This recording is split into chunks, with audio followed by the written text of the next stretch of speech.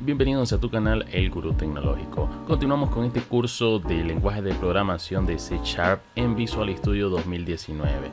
El día de hoy en este tutorial vamos a capturar datos desde la consola, capturar datos que nos escriban eh, desde el programa y podremos realizar algunas operaciones eh, matemáticas, suma, resta y multiplicación.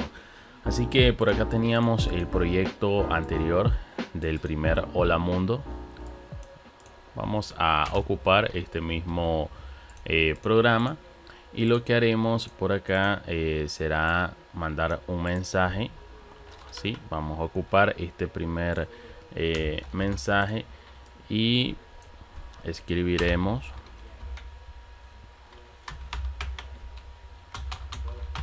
número uno dos puntos.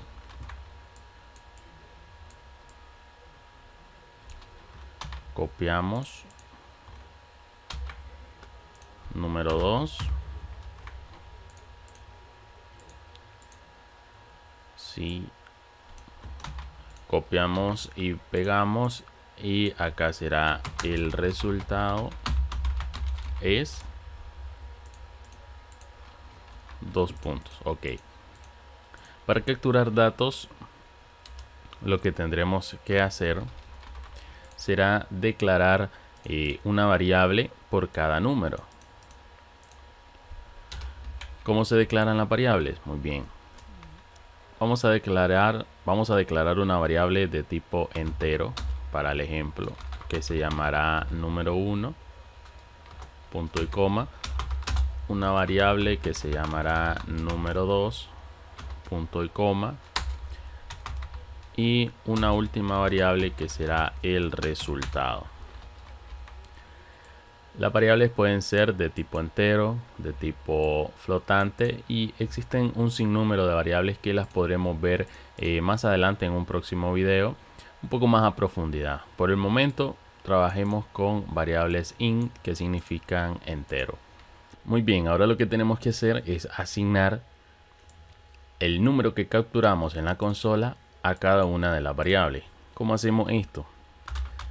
Mandamos a llamar a la variable número 1 y va a ser igual a console.readline abrimos eh, paréntesis y punto y coma. ¿Por qué da este error? Eh, si vemos el visual nos da eh, una, una solución pero a simples palabras lo que, lo que nos está pidiendo es que no se puede convertir de tipo texto a tipo número. ¿Sí? Porque la variable es entera de número. Y la consola captura un texto. De esta forma lo que tenemos que hacer es convertir el texto a número. ¿Cómo lo hacemos? Entonces antes del console readline escribiremos in punto permitan in punto parse console readline ven entre paréntesis. Lo escribiremos de nuevo para que repasemos. In punto parse abrimos paréntesis y dentro de los paréntesis escribimos console.readline y sus paréntesis. De esta forma nosotros capturamos el texto que escribimos en la consola y lo convertimos a número y lo asignamos a la variable. De esta misma forma damos copiar y pegar. Simplemente eh, asignamos al número 2 y con esto ya tenemos asignadas las dos primeras variables. El resultado, la variable resultado va a ser igual a número 1 más número 2 punto y coma. Bien, de esta forma el resultado ya tiene la suma de los dos números que capturemos en consola. Por último, para mandarlo a mostrar a pantalla, el resultado es dos puntos. Como ven, esto es una cadena de texto. Para asignar esta variable, eh, o mejor dicho, para mostrarla en pantalla, utilizamos el signo más y escribimos resultado. No nos confundamos con este más, que es una operación matemática, y este más es para concatenar una variable. En otras palabras, para mostrarlo en un write line o mostrarlo en un mensaje. ¿sí? Y por último, el console readline que nos permitirá mostrar en pantalla. Podemos ejecutar con F5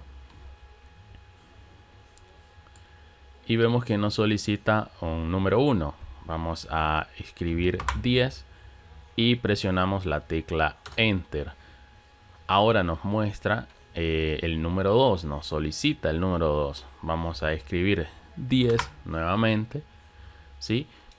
Y la suma de estos dos números nos debería de dar 20. Si damos un Enter, vemos que nos muestra el mensaje. El resultado es 20. Vamos a hacer un poco para acá el, la consola y vemos eh, paso a paso cómo se ejecutó eh, este programa.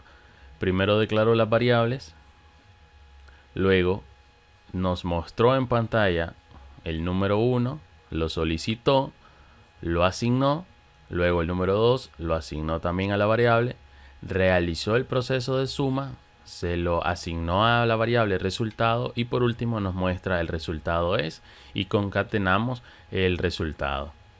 De esta forma hicimos una suma bastante eh, sencilla. Si detenemos la ejecución podemos probarlo nuevamente que está funcionando eh, bien. ¿sí? 20 más 30, el resultado es 50. De esta forma podemos nosotros realizar eh, una resta. Si sustituimos el signo más por el signo menos y ejecutamos,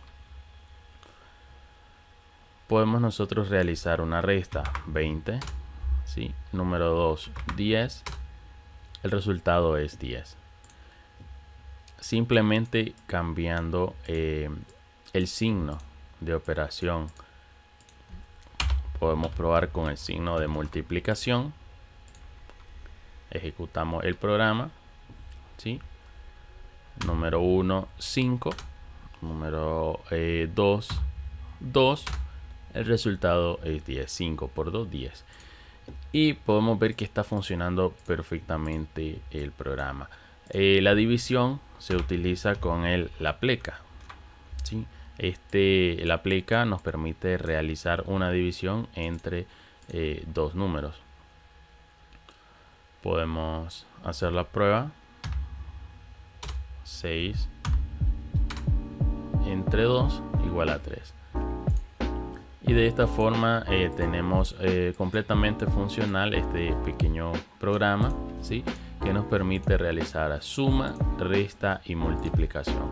Hasta acá el video de hoy, espero que le haya sido de mucha utilidad. No olvides suscribirte al canal, eh, dejar tu manito arriba y por supuesto compartirlo eh, con todos tus compañeros, todos tus conocidos. Saludos.